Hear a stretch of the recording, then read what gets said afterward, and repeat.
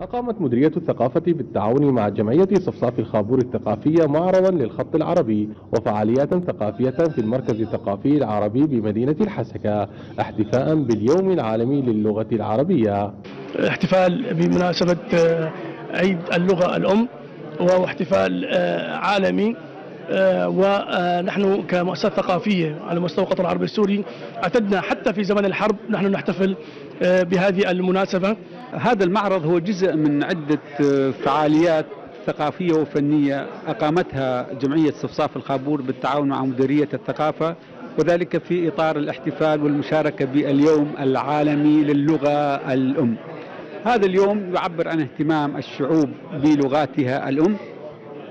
بما لهذه اللغات من دلالات وروابط ثقافية وحضارية واجتماعية.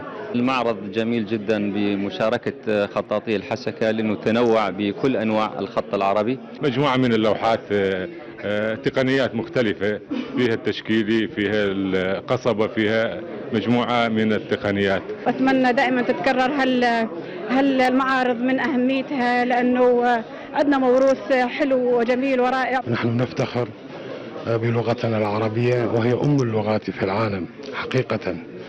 ولجمالية اللغة العربية يكسبها جمالا الخط العربي حيث للخط العربي أنواع متعددة من الفارسي الديواني الجيل الديواني الثلث.